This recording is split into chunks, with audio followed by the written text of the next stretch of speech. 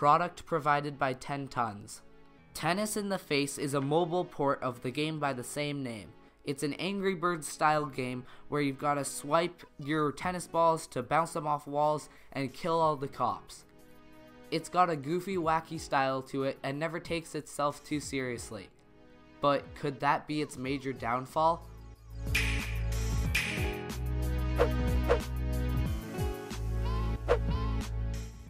What's up guys, it's Thomas on the Switch Stop, here to talk about Tennis in the Face by 10 Tons. This game is interesting to say the least. As you heard when I started off, it is a mobile port, and normally when reviewing games that have been ported over from mobile, I would never start with the fact that it's a mobile port. But we need to get this out of the way first. This game is clearly a mobile port if I didn't know it was from iOS originally, I would still be able to know, and that's not really a good thing. However, iPhone games can still be fun.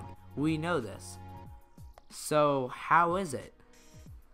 Well, Tennis in the Face is an Angry Birds style game, as I said, which relies heavily on its fun physics and interesting level design, to say the least.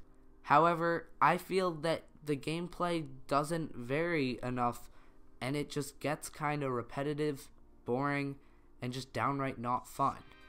I'm showing you only gameplay from the first three worlds, so take that in mind when you're watching this. There are many more variations down the line, such as new objects to throw, new items to interact with, but there's nothing really game changing.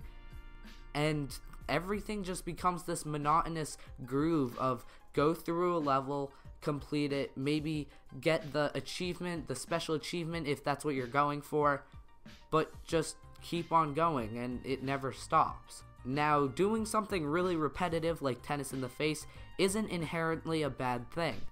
In fact, having something repetitive can be really fun in gaming. However, the thing that you're doing that is repetitive has to be a blast in order for it to work.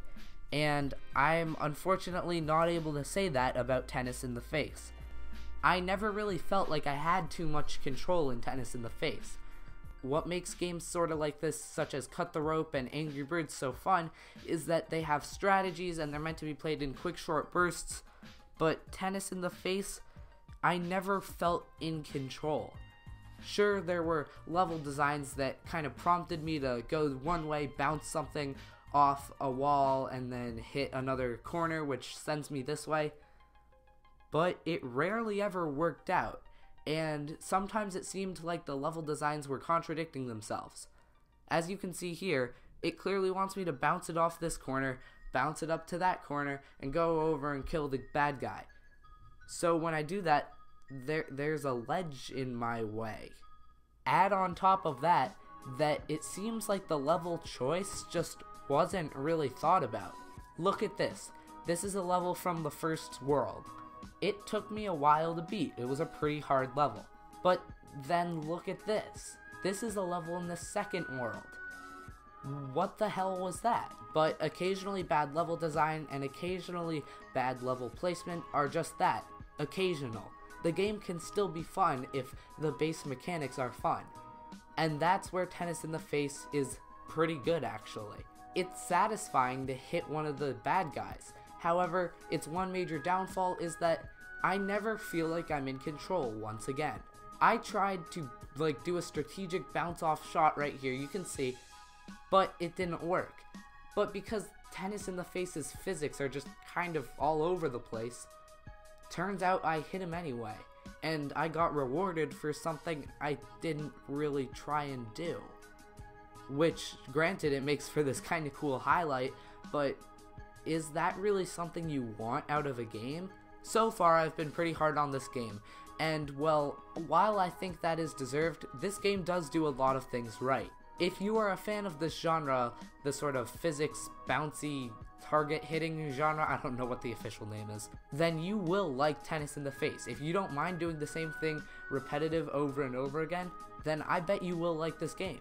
There are a lot of levels spread across different worlds that all have different enemies, but that's really it. You encounter new mechanics along the way, but none of them really change the game. There are also special levels that don't really count in a world. However, unlike post-game levels like you would think they are, they just unlock when getting into the third world and they're just there for you to play. It's odd and it would have been awesome if maybe they added them into maybe just a new world or even like a post game world because it just seems weird. I didn't have to beat the game or the subsequent world to unlock these. As soon as you get to the space in the overworld map, they're there. But as I said, if you like this style of game, you will like Tennis in the Face. There's a lot of content here, including those 30 extra weird levels, all of which can be completed multiple times for achievements and all that stuff. However, even if you would love this game, I can't recommend it to you on Switch because of one major thing the price. This game is $5. I, I don't I don't get how that makes any sort of sense. This game feels like a 99 cent mobile game and I I it hurts me to say that cuz I had fun with this game. I really did. There were just a couple of major problems that don't feel like something made for a console would have.